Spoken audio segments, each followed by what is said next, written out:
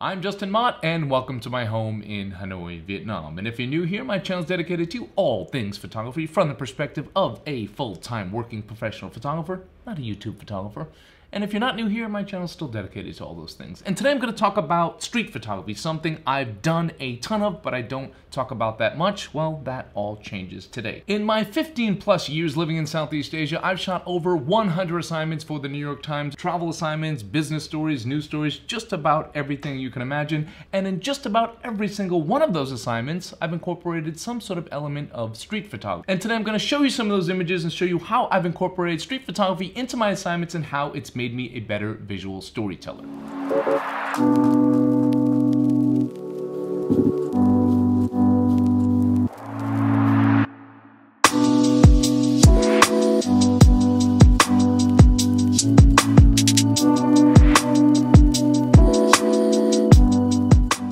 Guys, as always, no, not as always. I've got something brand new. So you're about to skip ahead. Don't skip ahead because this is brand new. I have added some new products on my online educational store. I've got a brand new editing package for people interested in help editing their personal projects. I've got a website on it for people that want help organizing their website because I've seen a bunch of people make horrible mistakes with their websites, both pros and amateurs. I also did a whole episode on improving your photography website. You can check that out. But the most exciting thing I have to announce today is the launch of my brand new new exclusive mentorship program. This is now available for $14.99 per month and this is really really intense one-on-one learning. It includes five sessions. It includes access to me via whatsapp. Includes a whole bunch of things. This is for people that really want to dive in really want an intense program customized for their needs and for their interest. And really this is for people that are willing to put in the work. This is the kind of mentorship program you will get out of it what you put in. More details on that you can check all that out at justinmott.com all right enough about that. Let's dive into what we're here to talk about today and that is street photography. I've never been a typical street photographer in that sense of I just go wander the streets and shoot whatever I want, but I've probably shot more street photography than most people out there, and I've probably got paid to shoot street photography more than most people out there. And that's because I've incorporated some sort of element of street photography into just about every single assignment that I've ever done. I started my career doing street photography. I fell in love with photography through street photography. I just hit the streets with my camera and explore, and that's where I fell in love with photography. So that's kind of what shaped my style of photography and why I probably incorporated into all the different types of photography I've done throughout my entire career. So with all that practice doing street photography in San Francisco, it only made sense when I hit the ground, when I launched my career. It. I started my career here in Vietnam uh, as an assignment photographer, that I hit the streets with my camera and wander the streets with my camera. And that's what made me really fall in love with Vietnam. And it really helped me understand the different cities a lot better, just wandering the streets with my camera. And then as I started to get assignment work, as I started to get work, especially with the New York Times, it was only natural for me to incorporate street photography into my storytelling, into my assignment work. And they became really my bread and butter client. They became my meal ticket. That's probably where 90% of my work came from for like the first, at least the first five years of my career out here. But I started to get all sorts of different types of work from them. I started by working for the business section, that turned into working for the foreign desk, that turned into working for the travel desk, and I'd get assignments from the Paris office, from the Hong Kong office, and often from the New York office as well. So I was doing all sorts of different types of photography. And back then, slideshows are really, really big. So in addition to the layout, shooting for the print version of the magazine, yes, that's something that people used to do, read the actual paper. You also had to shoot for a slideshow as well. So that meant between like anywhere between 10 to like 20 images for your slideshow. And it was nice. So you had a lot of room. You had a lot of room to tell the story visually with your images. I started doing assignments in Hanoi. That spread out to doing different stories in Vietnam, all throughout the country from north to south. That turned into doing stories throughout Southeast Asia, going to Indonesia, going to Thailand, Cambodia, even outside of Southeast Asia, even going to Australia as well.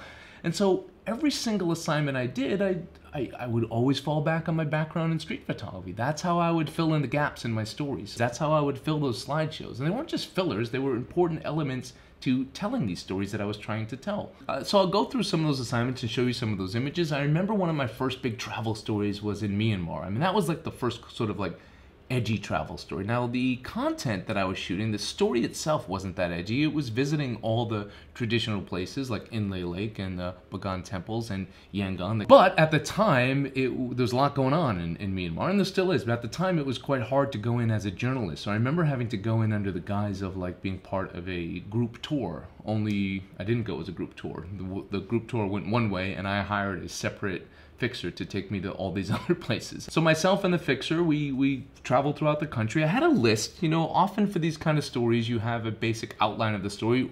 Back then the story wasn't even finished all the time. So sometimes you'd get a complete written finished story, sometimes you'd get a rough draft. Um so you had like your definite locations. And some editors would give you like complete freedom and just say like here's a story, you translate it how you want visually. And most, especially early on in your career while they're still feeling you out a little bit and trusting you, most would give you a list like you got to photograph X, Y, and Z and then, you know, if you find other stuff along the way. Again, I'd shoot the temples, I'd shoot the restaurants they asked me to shoot, the art galleries and things like that.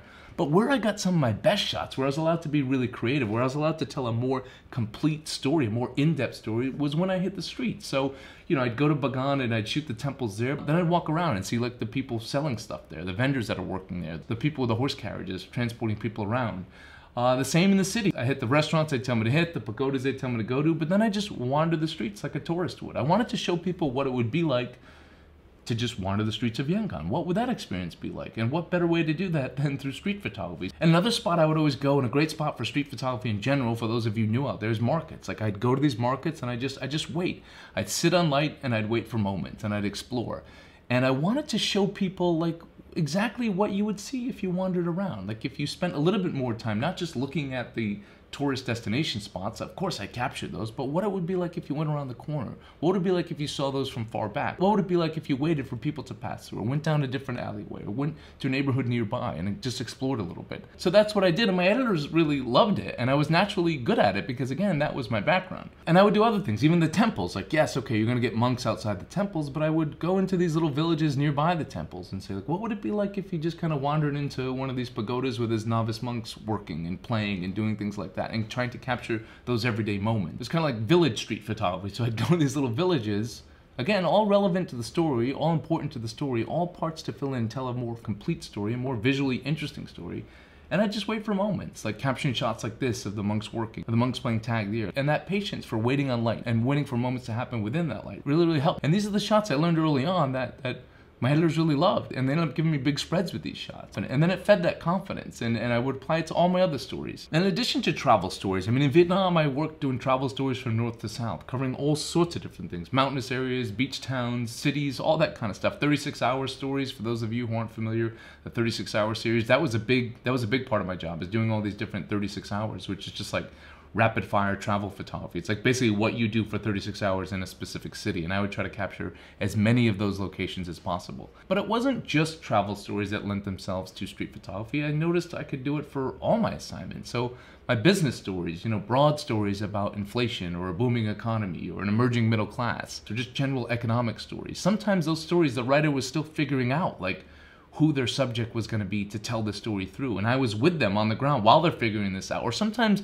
that would change later on. They thought, okay, they got a good interview out of this person, but maybe later on that person was discredited, or maybe they just changed the direction of the story. And so if I focused just on one person too much, I'd be kind of screwed if I didn't have the other shots. So in between getting the shots, of course, the portraits of the people they interviewed, the monuments, the landmarks, and things like that, I'd hit the streets. I mean, what better way to bring people to these different cities, to bring them to the stories than to hit the streets and wander the streets. Just about everything you can capture on the streets can relate to these stories. Again, all these different business stories, inflation stories. Everything on the streets can relate. I even, I remember one specific story in Vietnam, doing a story leading up to Tet, Lunar New Year, the biggest holiday in Vietnam. And, you know, everything happened on the streets. I didn't have a specific shot list at all. It was very, very general, and my editor was very trusting and very free. And that was just like the perfect story that lent itself to street photography because the build up to Tet, everything is happening on the street. People buying their Tet branches, people out there shopping, going out with friends. And then during the middle of Tet, like the prime part of Tet is the streets are empty.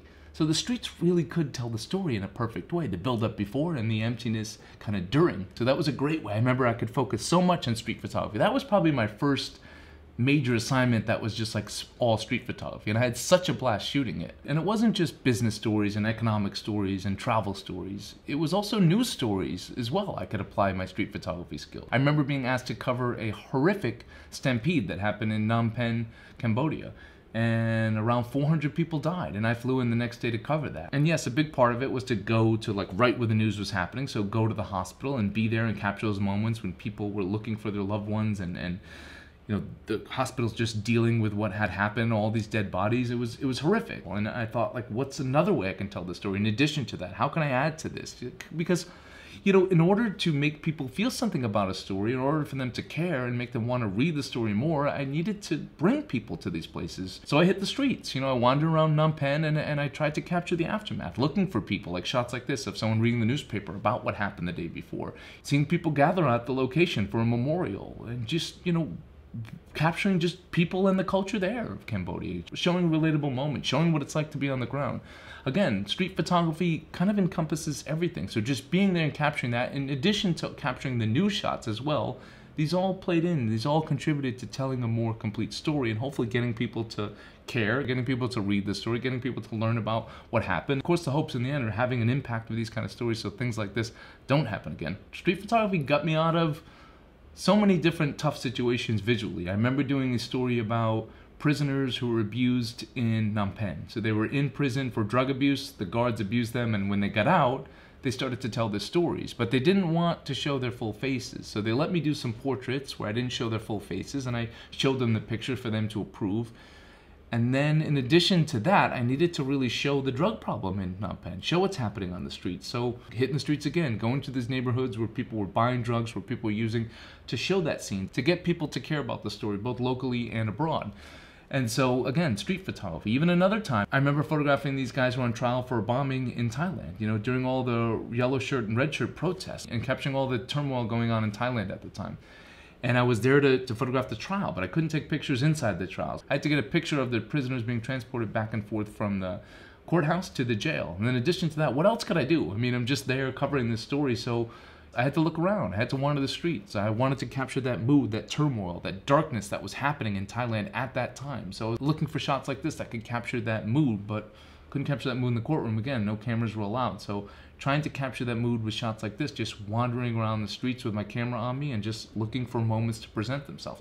Now, I'm not just going out and randomly shooting street photography like a lot of people might, where you're just sort of sitting on light. I'm looking for street photography that's relevant to all the stories I'm doing, shots that will contribute to the story as a whole. So yeah, obviously street photography was a big part of who I am. It's still a big part of who I am as a photographer, but it's not just for me. Street photography is great for anyone out there that wants to be a better visual storyteller. Whether you're a photojournalist like me doing heavier, serious news stories or even lighter travel stories, but even people out there that are just interested in doing their own personal projects, their own conceptual photography, or just photographing a theme. It's a great way to sharpen your skills as a photographer and overall as a better visual storyteller, which I think most of us out there that are into photography are trying to get better at, but it's also fun.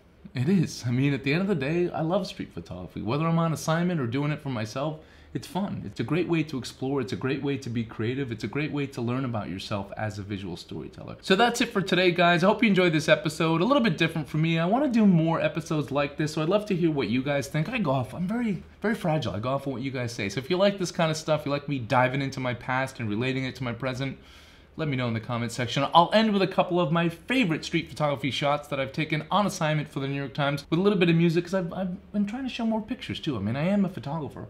So I should show more pictures. So some of you will ask, oh, were these all shot with a Leica? Actually, most of these, especially early on in my career, most of my street photography stuff, most of my assignment work was all shot with a Canon system. Uh, for those of you into gear, I was probably using, back then, about 90% of my work was probably with a Canon 5D, then a Canon 5D Mark II, and then a 35 millimeter Canon L series lens, and that's just about it. That's what I shot almost every one of my assignments with. So that's all for today, guys. Here's some pictures. Thank you guys for tuning in. Don't forget that new mentorship program. Check that out. And some other great educational products on there. Can check all that out at justinmott.com. Don't forget to like, share, and subscribe. And don't forget to watch and see these pictures. Thank you, guys. Bye.